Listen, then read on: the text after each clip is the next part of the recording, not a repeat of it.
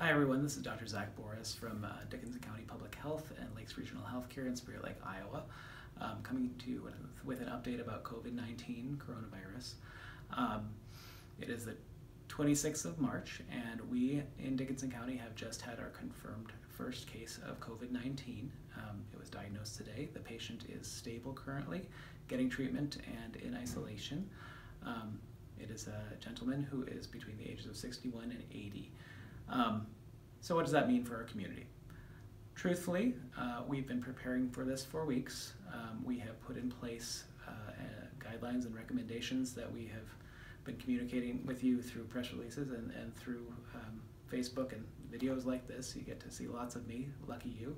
Um, but we're trying to be as transparent as we can as an organization and as a public health community to tell you really what's going on.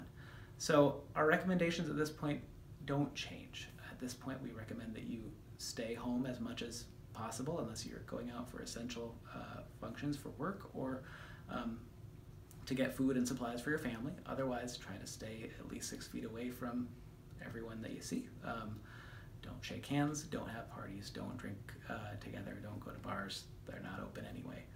Um, still try to support your local businesses. If you are feeling ill, um, if you're uh, slightly ill, stay home.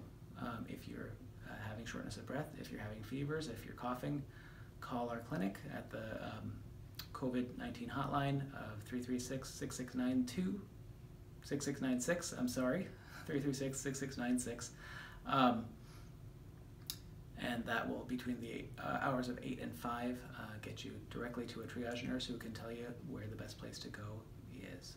Um, you will be seeing some changes around the hospital and hearing about them. Um, we are doing everything we can to protect our patients and our community and our staff so that no one else gets ill. Um, there will be other cases uh, locally. I'm sure there already are some. We just have not found them yet. Thankfully, we have not had any um, severely ill patients here, but um, we may. Um, so we there may be some changes in the coming days of our visitor policies, which have already been restricted, they may be restricted more. Uh, we will communicate as much as we can to you about that as soon as we know the details. Um, you'll be seeing changes in our clinic structures likely next week, and we'll be communicating that out as well. Um, we've already instituted a respiratory clinic, which keeps the folks who are sick and may have uh, COVID 19 away from those who are uh, well. Um, and so there will be more of that, and um, we are prepared.